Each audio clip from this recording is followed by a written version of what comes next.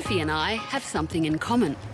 Recently, we both got our first pair of glasses. But unlike me, Sophie has suffered deterioration of her eyesight way earlier than expected. Unwittingly, she's become part of an epidemic of short sightedness in children worldwide. It's called myopia. And in education intensive countries like China, the rise has been phenomenal. We can see that the prevalence of myopia in the Chinese population in uh, mid 70 or mid 60 it started from very low, like 20, 30%. But now it has increased to about 80% among the junior high school graduate. So four out of five people with myopia. At the largest eye centre in China, corridors and waiting rooms are jammed with young myopic children waiting for eye exams. So the kids came in the summer school break, 100,000. This is a huge amount of number. In Europe and the US, rates have been steadily rising, and there's signs Australia is now following the trend. Sophie, come in. I've seen a, about a 30% rise in early myopia in younger kids coming into my practice.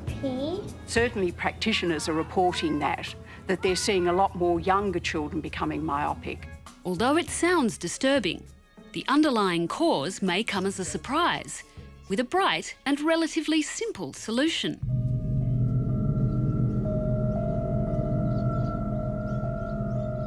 When you look at faraway objects, the lenses of your eyes bend parallel rays of light at an angle so that a sharp image is created on the back of your eye. To look at near objects, the internal lens needs to get rounder to bend the rays at a more acute angle. As you age, your lens loses flexibility and its ability to curve more. That's why reading gets harder and harder. But when you're myopic, it's the distance that becomes blurry. Is that blurry? Yes. The long held view was that children like Sophie developed myopia due to their genetics. Z. Was in the family, in the parents, grandparents, uncles, aunts, etc. Suddenly we're seeing a lot of non-genetic myopia. No one in Sophie's family has myopia. What is happening to you is as you're getting older, your eyeball is growing longer and your focus is getting shorter. It's a phenomenon happening to more and more children. The eyeballs grow abnormally into an elongated shape. It causes light rays from the distance to focus in front of the retina rather than on it, resulting in a blurred image. And there's nothing that the eye can do that'll clear that distance blur. Although Sophie's vision can be corrected with glasses, the younger you develop myopia, the more growing time is left in your eyes, and that can have serious consequences. Now we're seeing it in seven and eight year olds. The younger it starts, the higher it can go. There's now so many people growing short sighted at a very young age that a frightening number of the world's population will be severely visually impaired into the future. So when we project it into the future, if we do nothing, by the year 2050, nearly half of the world's population will become myopic. It really depends on the development of the education system and other lifestyle changes. But the reality is there's an enormous amount of it.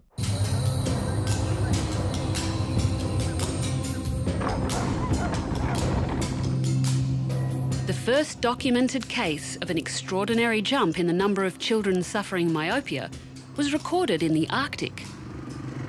Here, Inuit populations have traditionally lived a life outdoors, hunting and fishing. But in the 1960s, compulsory schooling brought a dramatic change to their lifestyle. Inuit Eskimo families were being moved into settlements and being given rudimentary education, and all of a sudden myopia went through the roof. In just one generation, the prevalence of myopia jumped from less than 2% to almost 60%. Where the prevalence of myopia in a population is low, you are very likely to have a, a strong genetic link or familial link with myopia.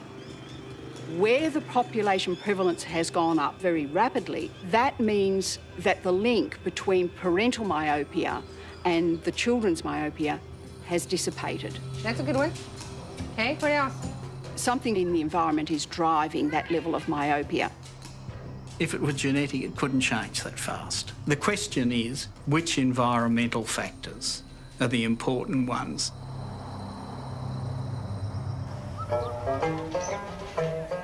As with the Inuit populations, the rise in short sightedness in China coincided with a change in schooling. After the disastrous Cultural Revolution, China rebuilt their education system, and from the 1970s, academic competition intensified. Because before there's no university entry exam, so after 1976, everybody was pushing to study very hard. In China, Chinese parents 100% concerned on the education outcome. What we really believe is that schooling intensity or education system is really the key. Dramatic rises have also been seen in other education intensive countries such as Singapore, Taiwan, and South Korea. The evidence, both from the United States and from Europe, is that it's increased. Probably in the United States, it's doubled in the last 30 years. Interestingly, Australia is something of an anomaly among developed countries. Despite our school kids being well educated, they've so far got off remarkably lightly. And ironically, that makes it a great place to study myopia. What's the big one in the middle? Very good. You know what? I'm going to go down again because I think you can see really, really well. We had a particular opportunity in Sydney where the rate of myopia is not particularly high to actually have a large enough group of children who weren't developing myopia and we could examine their behaviour and contrast it with those who were becoming myopic. Here in Australia, only about 30% of school leavers are myopic, but the rate in selective schools is much higher, at around 50 or 60%. Education was clearly a factor. There's a lot of evidence. But the thing that we thought might additionally be important was the amount of time that children spend outdoors. So we had that as a sort of, if you like, lurking hypothesis. To see if that hypothesis held ground, Ian and Kathryn launched the Sydney Myopia Study. There were over 4,000 children. And basically, we went to 55 schools across the whole Sydney region, recruiting children from year one and seven into the study. And I have to thank all the parents who did the Sydney Myopia study because we had a questionnaire that was 193 questions long. We asked about country of origin, we asked about lifestyle in terms of where they lived, but crucially, we asked a lot of detail about how much time children were spending indoors versus outdoors and what kinds of activities they were doing. We were able to examine things like watching television, using computers, and that showed no correlation. As Ian and Kathryn had predicted, the only protective habit seemed to be time outdoors. Any time spent outdoors, whether the child was being physically active or not active, was irrelevant in terms of providing the protective effect. In addition to that, we established that any indoor sport was not protective. So we were instantly able to exclude physical activity as one of the things that was influencing the uh, development of refractive error in children. The amount of near work children were doing also showed very little correlation.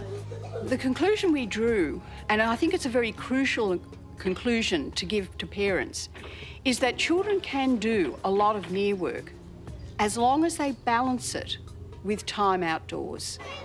But the question is, why? There's a number of factors in being outside that could offer a protective effect. There's UV radiation, vitamin D from sunlight, and even the opportunity to stare into the distance. But animal studies show that it's the brightness of the light that makes all the difference.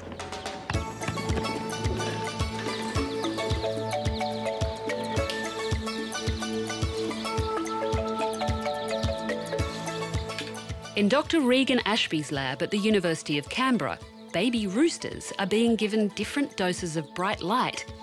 To try to see how much is enough to prevent myopia and why.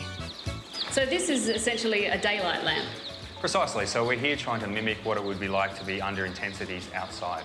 So right now we're only at about 10,000 lux, so that's about what you'd see late in the evening. And then as we lower the lighting rig, obviously the intensity gets higher and higher. To the highest we can get is once we're on the cage, that's 40,000 lux, which is the equivalent to the light intensity you'd see on a winter's day or on a cloudy day in, in summer. And this little chicken, he's got a little goggle on. What's that for? So the goggles are there to induce abnormal growth in the eye so that we actually make them myopic. The goggle diffuses the light in one eye, making it want to grow to compensate for the blurriness. So essentially what you're doing is giving different doses of daylight and also making the eye want to be myopic. Precisely. And, and, seeing if you can use light to stop that. Precisely. We give them the same amount of dosage each day. It's just the question of what intensity we give them. And at what point does that intensity override the want to become myopic? Regan's team use a special camera to measure refractive error in the chicken's eye to see whether they've developed myopia or not. An ultrasound probe while the chicken is asleep can also measure the depth of the eyeball to see how elongated it becomes, the true measure of myopic growth. So what we found was that the amount of myopia we can generate in chicken is proportional to the light intensity they're exposed to. When we got to 40,000 lux, we abolished the development of myopia in the chickens. Once they got to that three to five hour mark, that is enough per day of this high light to prevent myopia. 40,000 lux in Australia would be the equivalent of either a winter's day or a cloudy day. In Europe, that can actually be the intensity you see even in a summer's day. The reason bright light helps appears to be due to the way our eyes adjust to day and night.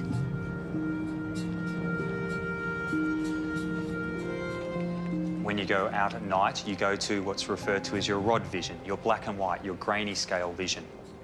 What it allows is that the eye takes as much possible light as possible and generates an image out of it. But by doing so, you lose that fine detail. During the day, cone cells in our eyes give us incredible detail, colour and high definition images. To switch from our rod cells to our cone cells, requires a neurotransmitter called retinal dopamine, the release of which is triggered by light. During the day, when you go out into the sunlight, what happens is dopamine levels go up, they turn off the rod pathway as such, and so what the dopamine system does is it stops the signal being diffuse anymore, and allows very fine tuning of the system, and that's what allows us to see fine detail.